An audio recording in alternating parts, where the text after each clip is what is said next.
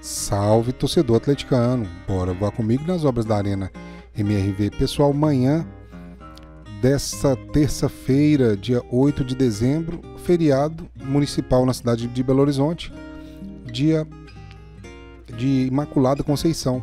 A obra está funcionando normalmente, né? E a gente viu bem no cantinho ali tem um portão no chão, eles vão reativar essa portaria logo logo, né? Vai facilitar um pouco para a gente principalmente pelas questões de segurança, né? A gente fica ali, que a portaria fechada não tem muito trânsito nem movimentação naquela portaria. E o exemplo que eu fiquei aí amanhã quase toda, não passou nenhum veículo nesse local ali, fica um, um, um local um pouco, um tanto quanto perigoso para a gente fazer as filmagens, né? Então logo logo vão reativar aquela portaria e vai ficar melhor ali para todo mundo. Aqui estão as nossas, é, as nossas, nossos trados, né? Que o nome correto seria é, trado helicoidal, mas Popularmente a gente pode chamar de broca também, né? Não tem problema porque a intenção é que, mesmo que não é um canal de engenharia, né? É um canal de torcedores acompanhando o dia a dia de uma obra e nem todo mundo tem a facilidade com os termos técnicos, nem todo mundo é da área. O importante é que se entenda os conceitos, né? Então essas duas estão presas, presas aí no chão com espessuras diferentes e a gente até fez algumas é, suposições do que poderia ter acontecido, ficado presa no local, mas pelo que eu conversei com o pessoal ontem aí na obra, é normal elas ficarem ali tão como se fossem um backup, né, para os trabalhos de perfuração. Não tem nada de problema naquilo lá não. E o que a gente acompanha aqui nessas fundações que são enormes, né, na data de hoje, é que começaram a concretagem daquele primeiro daquela primeira camada, chamado concreto magro, né? Ele é feito apenas para nivelar ali o terreno e separar o concreto bom ali da parte do solo, né? Então eles usam esse concreto ali de maneira preliminar justamente para esse trabalho aí de primeiro ajuste. E a gente percebe que tiveram pela profundidade para facilitar o acesso aí no local, fizeram até algumas escadinhas ali para permitir o pessoal fazer a entrada e saída do local, né? Então ficou aí bastante interessante o trabalho do pessoal nesse sentido, né? Logo logo devem começar a colocar as formas aqui, porque naquelas duas estão mais próximas da encosta, as formas já estão por lá. A máquina vai se deslocando é, lá para realizar suas tarefas. A máquina nova, a mini escavadeira, com as cores da massa, né? As cores do galo, a escavadeira da massa, vai começar a fazer seus trabalhos aí.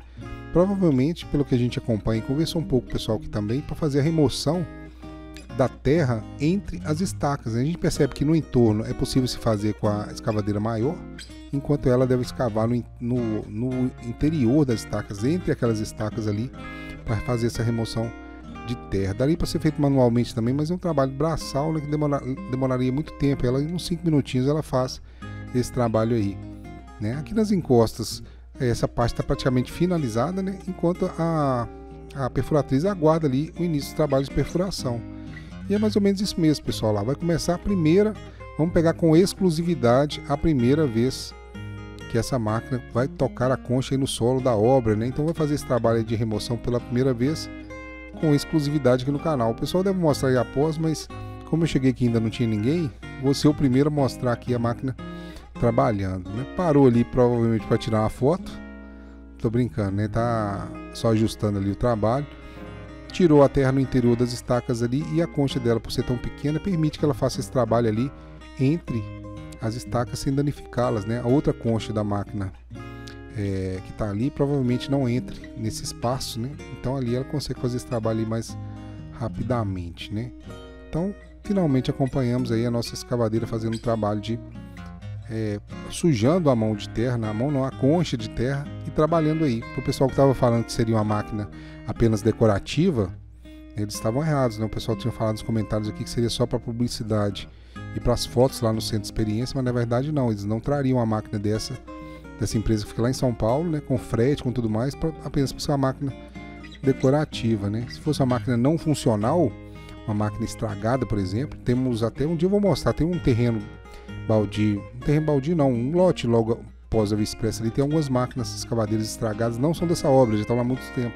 Usariam uma máquina que não está funcionando mais, né? Se fosse só um, um trabalho de publicidade. Então aqui ela vai fazendo esse trabalho, vai fundando bastante lá e vai ficar como a gente acompanhou aquelas lá no começo do vídeo, né? Vão ficar as estacas expostas ali. A gente percebe que tentaram até fazer com as conchas maiores esse trabalho ali. A gente percebe bem aqui na lateral, nessa escavação à direita de onde ela está trabalhando agora, mas eles não conseguem entrar com a concha maior no, no, entre ali as estacas. Então ela vai fazer esse trabalho aí retinha, trazendo esse, esse material para lá. Provavelmente depois ela deva se deslocar ali e virar 90 graus, fazer na outra lateral e puxar também entre as duas no sentido transversal ali. E depois só um ajuste pequeno deve ser feito ali pelos operadores, né? Então ela vai trabalhar em toda essa área do lado de cá, deve fazer o trabalho em todas essas áreas onde as estacas estão começando a aparecer e a gente começa a ver qual que é o trabalho das perfuratrizes hélices contínuas. É esse o resultado do trabalho dessas máquinas. Acredito que tenham mais de duas semanas que essas, essas perfurações já foram feitas, então o concreto já curou, permitindo aí o trabalho nessa área. Ainda tem muito barro aqui, né, pessoal? Choveu aí de madrugada. Tem alguns montinhos aqui meio desorganizados, mas logo logo devem remover esse material todo para outro lado, né? E ali a gente percebe até vão fazer as escadinhas para acesso nessa área aqui também, né? Então temos movimentação em toda essa área aqui, enquanto a nossa mini escavadeira vai fazer um trabalho de remoção, a outra é tirando terra mesmo, né? Essa terra está sendo retirada das encostas né, tá se acumulando ali e vão fazer esse ajuste, porque essa rampa que está logo atrás dela, não sei se ela ficará nesse local, ela termina logo à frente ali. Então devem fazer, se essa rampa continuar, o que acredito que continue, até pelo cuidado que fizeram essa parte de baixo, o acabamento ali, eles devem fazer uma rampa para acessar essa, esse nível aqui superior, né? Basta a gente aguardar aí para ver como vão ser as evoluções aqui nessa área, né? Aqui a perfuratriz também aguarda para iniciarem os trabalhos de perfuração nesse local.